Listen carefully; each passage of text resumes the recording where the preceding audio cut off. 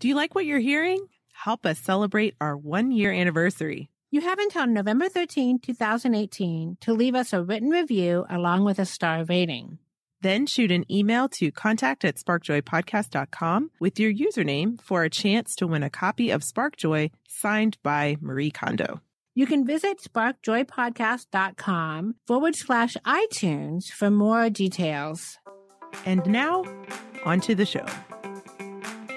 Welcome to Spark Joy, the podcast dedicated to celebrating the KonMari method and the transformative power of surrounding yourself with joy and letting go of all the rest.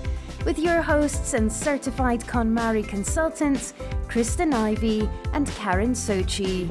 And now, here's the show. Have you ever said to yourself, I'll never be organized? I've been this way all my life. I always struggle to keep things tidy.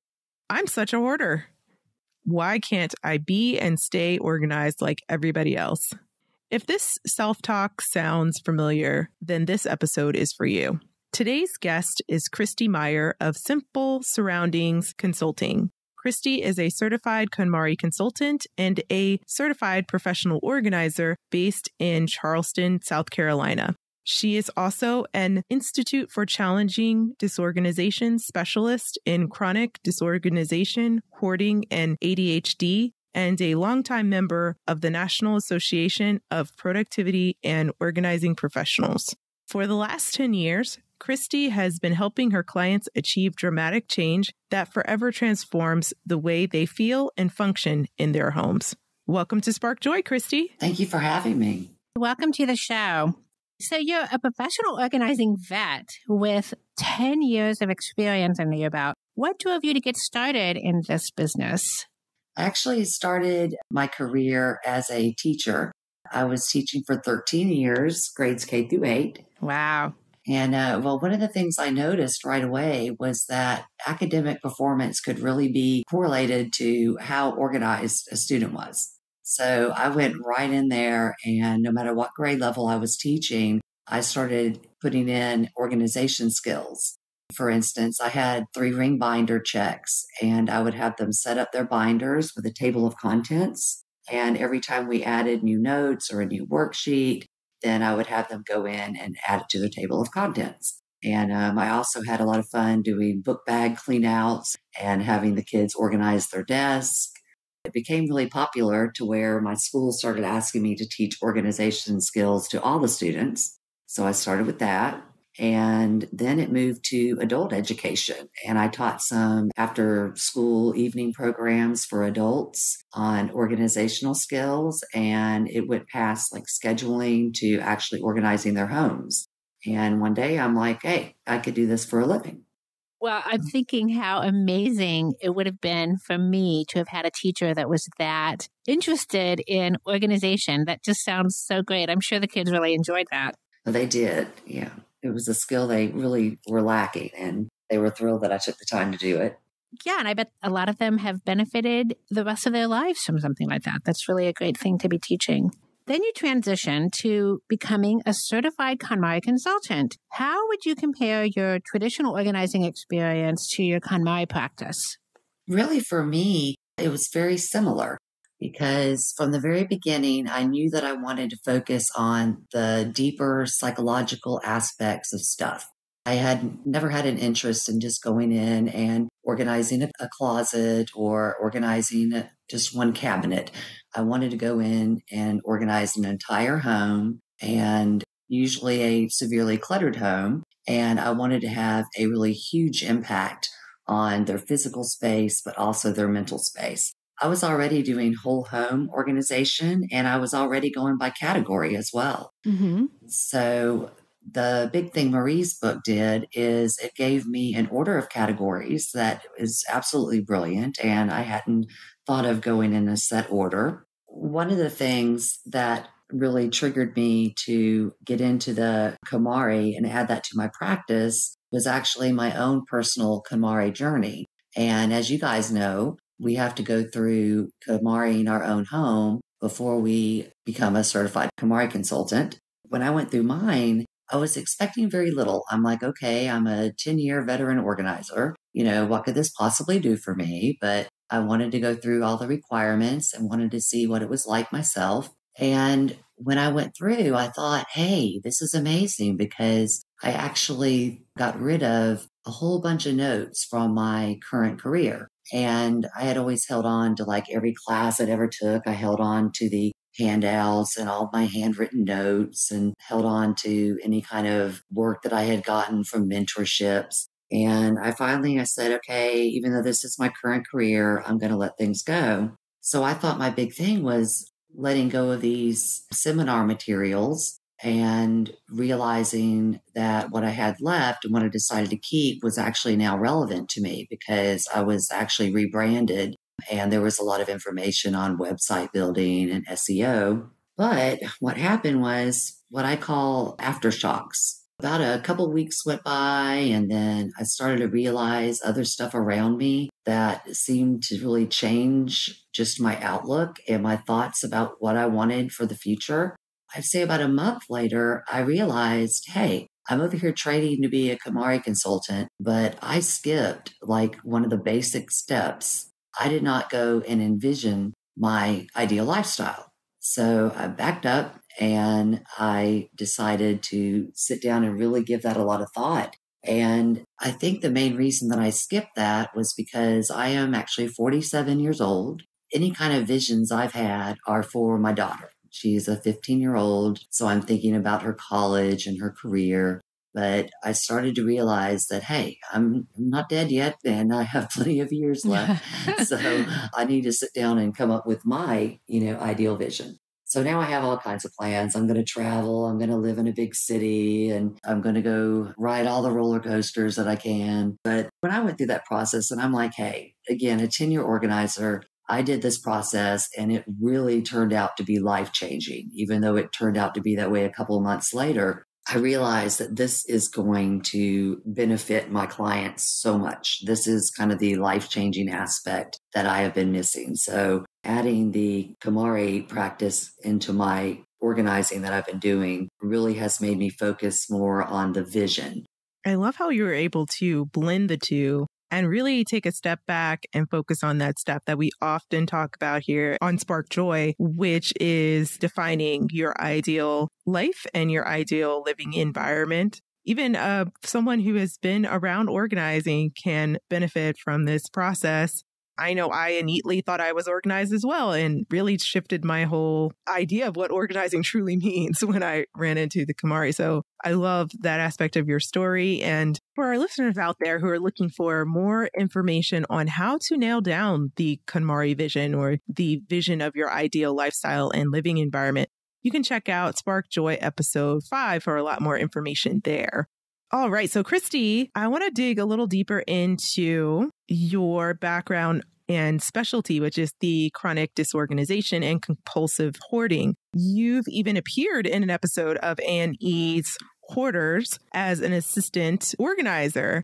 We've had two professionals from the show Hoarders on Spark Joy. Dorothy Breininger and Dr. Melva Green joined us in episodes 3 and 19. So I'd like to start with the question that we posed to them as well. How do you define chronic disorganization and compulsive hoarding? Yeah, Dorothy was the lead organizer on my team, and she's also a mentor of mine. Awesome. So when it comes to chronic disorganization, you really look at four qualifiers. And one of them is that the disorganization has gone on for a really long time. There's another thing that we call situational disorganization if uh, you're going through a major life transition, you have a, a new child, or you have a divorce, or there's a death, then that can end up in temporary disorganization. But the chronic has to go on for a very long period of time. If you find that it really undermines your quality of life, then that could be considered chronic. It also has to be that you've tried to get organized multiple times and that it hasn't worked. And also, the outlook or expectation for change in the future is really low. There's often thinking that, you know, I'll never get organized. I can try this and I've tried it before, but I'm never going to be able to do it. Very interesting. And are there some telltale signs as well? Definitely. If you're having problems with just overwhelm, if the disorganization in your home is causing you to be embarrassed that someone else may come in, if you walk into a person's house and you see organizing books laying around, I think that as consultants, we see that a lot, then that could be a sign of attempts to get organized in the past. Also, if you are misplacing items or it's really hard for you to find something, um, if you have storage areas that are really full, also people with the reliance on visual cues to take action. Like if you walk in and there's a lot of sticky notes or paper piles that they're keeping there to remind them to do something. And also difficulty in making decisions comes in. There's the feeling that they really should be able to do it on their own and they get really frustrated that they can't do that. And we often find time management and project management issues as well, often like a lot of projects going on and a lot of unfinished projects. I'm curious, Kristi, do you separate and distinguish chronic disorganization and compulsive hoarding as two separate challenges, or are they kind of linked or somehow connected? There's a continuum. When you look at someone's disorganization, um, we can start off at something very mild and then we can go to chronic and then you can, you know, go progressively higher and end up into a hoarding type situation. But hoarding disorder is just that. It's an actual mental illness defined by the DSM. It has some different characteristics in addition to what you would find in chronically disorganized people. I know that you've been a big proponent of the idea that's been met maybe with some controversy in the KonMari community that people that suffer from chronic disorganization or even hoarding can still benefit from the KonMari method. But I'm sure that there are some adjustments and modifications that you make with your clients. Can you tell us a little bit about that and how you practice KonMari with those clients? One thing that I always do, and the reason I say that the KonMari method can work for everyone, including the chronically disorganized and people with hoarding disorder, is I always keep the basic rules of tidying or the core principles of tidying intact throughout the entire process. So I keep the commit to tidying, envisioning the ideal lifestyle, finish discarding first, tidy by category, follow the right order, and ask if it sparks joy. So, what I do is make some adaptations when going through that process and going through the categories. And I also do some adaptations at the end during final storage. What's interesting is there is a expert in the field um, named Judith Kolberg. She defines in her book, Conquering Chronic Disorganization, that chronic disorganization is the result of the bad fit between people who organize unconventionally and the very conventional organizing methods which exist for them to use. So, given that definition, I come up with some more unconventional ways for them to go through the KonMari process. The five that I tend to use the most and suggest that others do is make it social, over personalize, make it emotional, adapt to your individual learning and organizational style, and to set up a maintenance plan Let's start with number one make it social. With Make It Social, we find that people who are chronically disorganized do not do so well doing solitary organizing. So basically, they just need someone to be there. It doesn't have to be a professional organizer or a KonMari consultant. It can be a friend or a family member but I do use caution because oftentimes with our friends or our family members, there's been some negativity or some bad feelings that have developed around the clutter. So just make sure that you pick someone that's a good fit. I find that when it's a social process, that having someone there really grounds the person and really keeps them in the moment. The person that's being a uh, body double can do many different things they can just go through and do like just simple tasks. When they're going through papers, they can place the papers in the recycle bin or put them into the shredder and things like that. Or they can get involved a little bit more, like I do, and they can become kind of like the cheerleader and they can be the happy and energetic and do a little bit of light conversation. And also, they can be a motivator and a strategic person and help them by bringing in some humor So, by body double, you mean someone who can basically be another pair of hands and can help free of judgment and be objective as well. So, they're only bringing positive energy to the situation. Yeah, absolutely. Awesome. Let's move to the second rule, which is over personalize.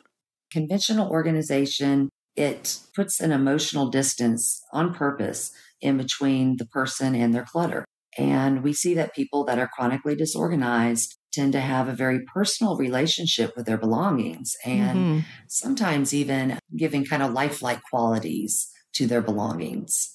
And so, what I do and what I suggest people do is just don't ignore that, go with it. And over personalizing is actually exaggerating the feelings that people have with their stuff.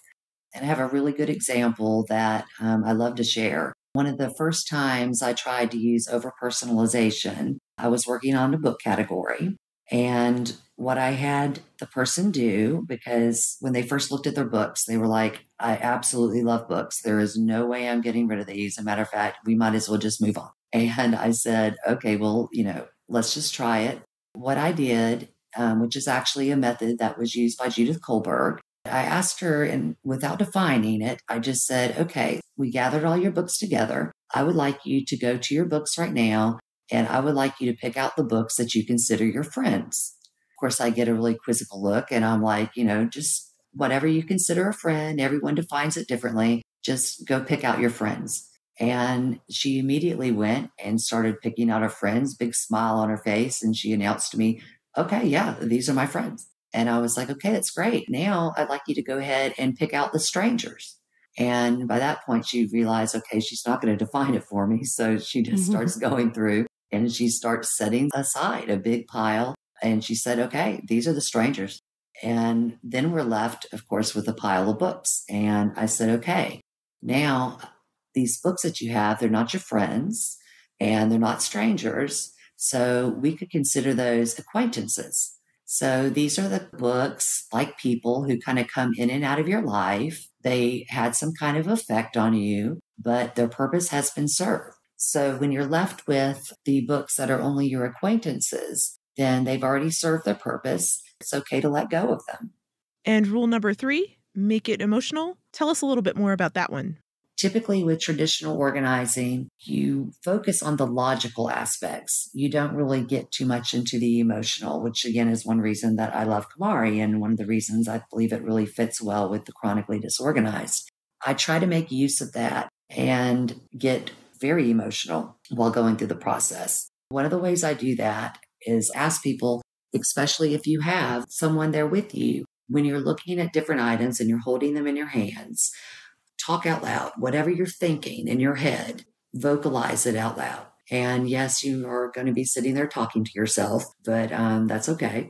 For instance, if I have someone who picks up a dress, a really lovely floral dress that they used to wear when they were younger and they were thinner and they had really good times in this dress, if they're talking out loud, I would be able to hear them saying things like, Oh, I really love this dress. Oh, it reminds me of that time, you know, when I used to have that wonderful boyfriend and this great friend group. And it was a time too when I was skinny, but I can go ahead and let this go because I had really great times. So I'm going to say thank you and I'm going to let you go.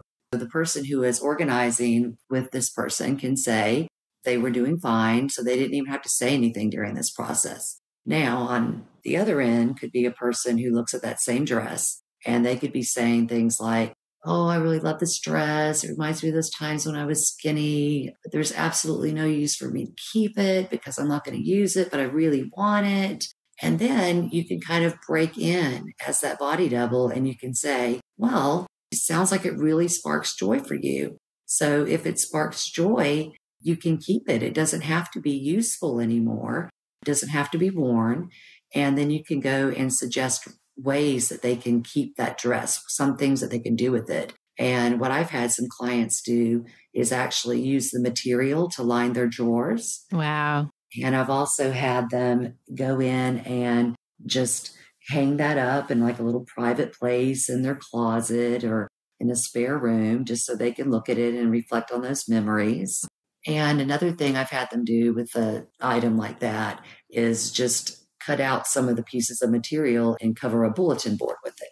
Another really emotional thing to do is called treasure hunting. Again, it's so KonMari. Go, you know, into this category and find your treasures. Find the things that you absolutely love. So again, the focus is not on discarding and picking out what to discard. It's on what sparks joy. What's a treasure? And another thing that chronically disorganized people really need, since they have this emotional attachment to their belongings, is they actually need permission to play favorites. Um, we're always told we're not allowed to do that. So, like if you have kids, you're supposed to make sure that, you know, or say that one is your favorite.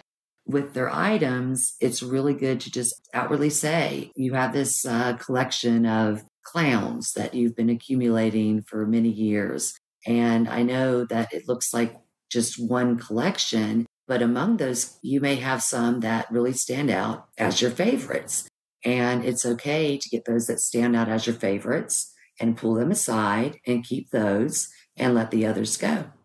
I really love the way that you've incorporated so much of the underlying kind of philosophy of KonMari in your practice, but you've turned it to make it very unique and special for your clients who are struggling with these issues. It's really very impressive. Yeah, absolutely. And that's why I say that when I became a KonMari consultant, I really didn't have to change that much mm-hmm. because I was already using these non traditional methods because of the fact that the majority of my clients are chronically disorganized.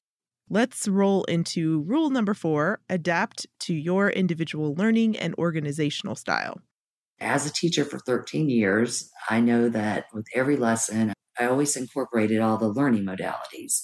So I made sure there was something for auditory, kinesthetic, visual, and tactile learners. So when you're going through the KonMari process, and especially when you're setting up final storage, then go ahead and use methods to set up these systems and to teach the systems using all the modalities.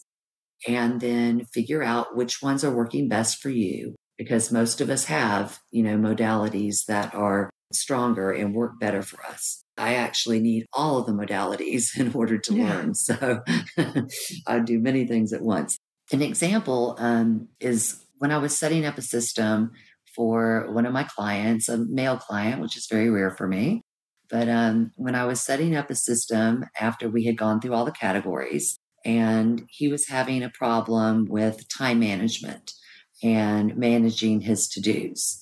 And I had learned throughout the process, and I'd picked up on the fact that he was definitely a kinesthetic learner. So, what I did is I had him get a large dry erase board and divide it into three sections. And we worked on the names together, but we decided to name the sections today, soon, and this week. So, we got his to do list together, and I had him write down one simple to do on each sticky note. And then we stuck them up on the dry erase board on those categories what he wants to do today, what he wants to do soon, and then what he wants to do that week. He could then usually physically, you know, he could put them onto the board. And as he moved through, if there was something on his list for today and he didn't get it done, all he has to do is just unstick it. if their priorities have changed, he can put it under soon or he can put it under this week. And the final golden rule, number five, for the chronically disorganized set up a maintenance plan. It's called chronic disorganization for a reason. It is chronic. Some people may go through the KonMari method and be able to maintain it very easily. There's so many major transformations that people don't even have to consider getting disorganized again. But for chronically disorganized individuals, they really need some things in place like time management systems, paper management systems, project management systems, and the placement of their items. They need those in place and to have been practiced. And also, they need to make sure you set up very simple systems and replicate those systems throughout all the areas of your home. So, for instance, if you were doing the to do list that I mentioned before, where you shift one to do from like today into next week, then do the same thing with your calendar have a calendar that you can actually shift items around. Wow, Kristi, these are some great tips. And we love tips here on Spark Joy. before I let you go, I also would like to make sure I ask you to provide any resources for someone who may be listening to this episode of Spark Joy who believes that they may be suffering from hoarding or have a loved one who exhibits some of the hoarding patterns or chronic disorganization and they just need some specialized support. Where should they turn? The first one would be the Institute for Challenging Disorganization. That's where I got my specialized certifications from, and they have a list of resources. And another one, I'm going to bring up Dorothy Breininger, and she has a site, Dorothy the Organizer, and she has a ton of resources there. Also, there are two books that I really love. One is called Buried in Treasures, and it's by doctors David Tolin and Randy Frost. And that book, if you search hard enough, it actually has accompanying workbooks that you can use. And if you have someone to do the organizing with you, they can go through and help you complete the workbook and guide you along. There's also a book that I love called Digging Out by Michael Tompkins. And for someone who is experiencing the effects of hoarding, um, but maybe the child of a hoarder, or maybe just a friend or another family member. There is the organization called Children of Hoarders, and there is a wealth of information on that site. I would also really encourage someone if they think that they're exhibiting signs of hoarding to talk to someone who you think will be able to be supportive and non judgmental you may even want to consider talking to a therapist because hoarding is actually a, a mental illness. And of course, I would always recommend that if you are able to look into getting someone in the home to help you, if you don't have a friend or a family member, like a professional organizer or a certified KonMari consultant. Thank you so much for sharing those. I know they will be great resources for someone out there who may be struggling with this and needed some assistance. So, Kristi, you've shared some awesome tips about uh, chronically disorganized. And here we have a tradition on our show to specifically ask our professional organizers and our KonMari consultants what their favorite tidying tip is. If you can pick just one, we'd love for you to share. It's hard to pick one, but I'm going to go with simplicity because simple surroundings is what I went with for my company name too. So when you are going through and organizing your items and when you're setting up your maintenance systems, keep it as simple as possible. Things are going to be a lot easier to maintain. And if you keep it very simple, it's also going to lead to more relevance to your current self. If you're organizing recipes, for instance, the less detail, the simpler it is, then the better. So a lot of people will get a binder and they'll have it divided up into like Greek food, Italian food, Mexican food. Instead of doing that, I ask for people to sort into broader categories like meals, desserts, and appetizers. So then, when if you have a simple system like that, when you go through to pick what to cook that night, then you're causing yourself to kind of edit that information as you go along. So you'll be like, huh, okay, I see this recipe here, and this is no longer something I want to cook. So you'll kind of get rid of that recipe and let it go. And you'll also find your favorites that are the most relevant to your current self and you may even end up putting those toward the front of your items. So keep it simple and keep it as less detailed as possible. And another thing that we ask our guests is at this very moment, what is sparking the most joy for you? The KonMari consultant community. I am so happy to be a part of this amazing, diverse, talented, supportive community. They are so eager to help each other and there's also just this huge desire to help their clients.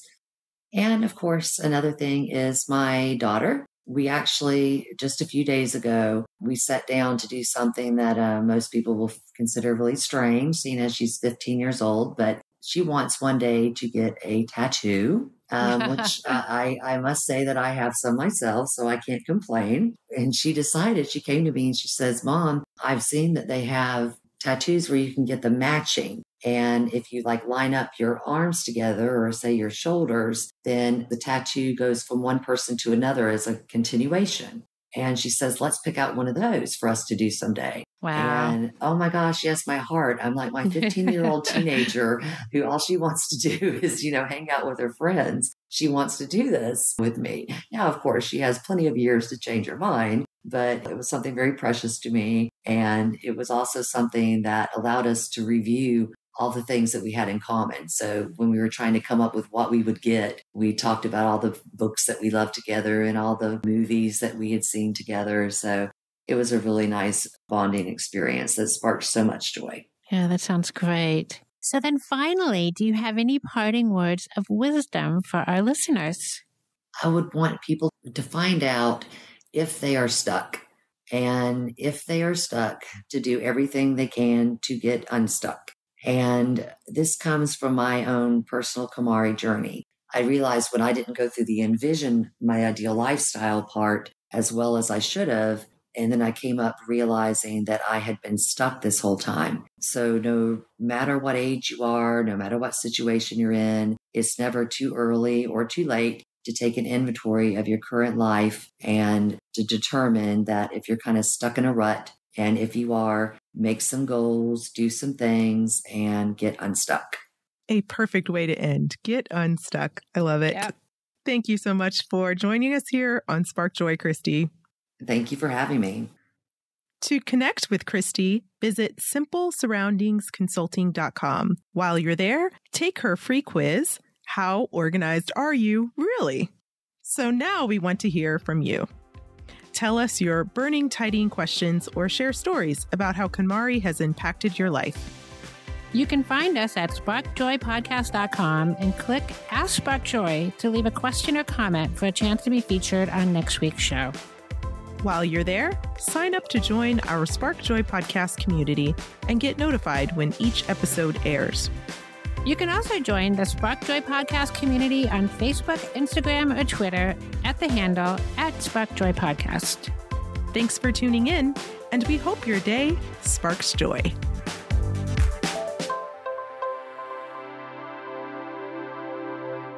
Thank you for listening to Spark Joy with your host, Kristen Ivy of For the Love of Tidy in Chicago and Karin Socci of the Serene Home in New York City.